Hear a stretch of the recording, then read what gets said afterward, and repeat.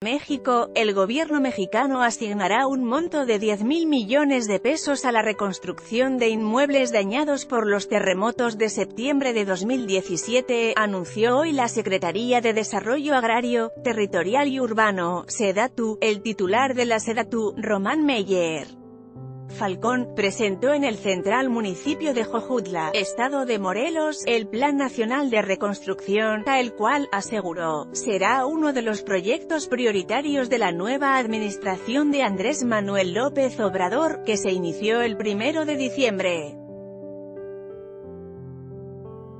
El monto asignado a la reconstrucción en el presupuesto de egresos de 2019 que el Ejecutivo debe presentar al Congreso a más tardar el 15 de diciembre estará destinado a la reparación de viviendas, escuelas, centros de salud e inmuebles patrimoniales.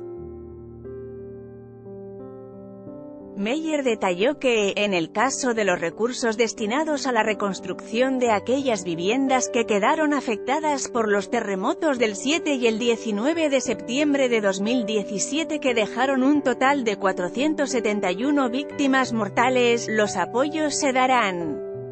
de manera directa a las familias, estas recibirán, también, la ayuda de un asesor técnico para la reconstrucción de los hogares, la cual deberá hacerse necesariamente en un lugar más seguro, y teniendo en cuenta condiciones como el clima y el entorno natural. Se firmarán convenios de colaboración con las autoridades estatales y municipales, organismos privados, fundaciones y sociedad civil, para realizar acciones complementarias y dar atención integral a las comunidades afectadas, subrayó el titular de Sedatu, quien recordó que en estas acciones no se parte desde cero, por el trabajo ya avanzado desde las fechas de la tragedia.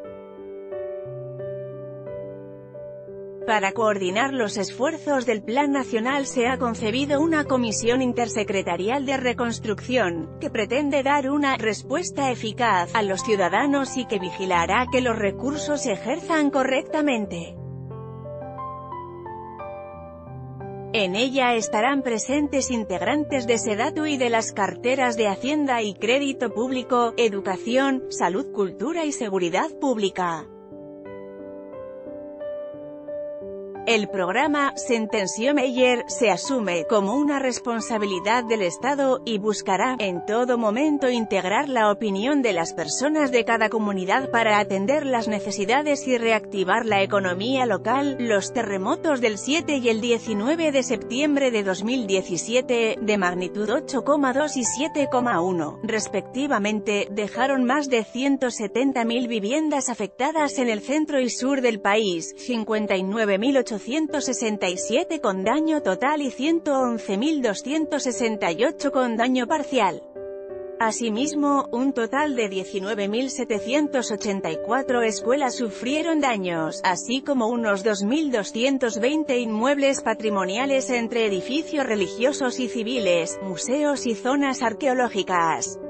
En esta nota,